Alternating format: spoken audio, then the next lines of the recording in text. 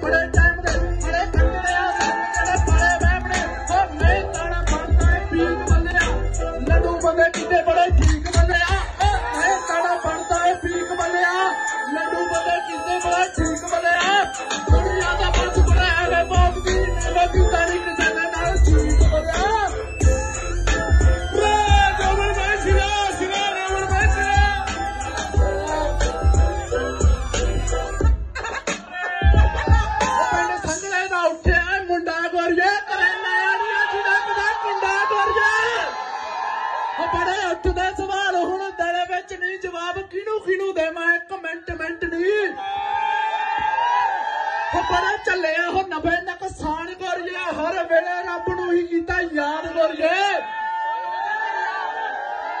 ਹੋ ਹਲੇ ਵਕਤ ਨਹੀਂ ਆ ਸਬਰ ਕਰ ਹੋ ਰਿਹਾ ਜੋਬਨ ਤਿਆਰ ਕਰੀਏ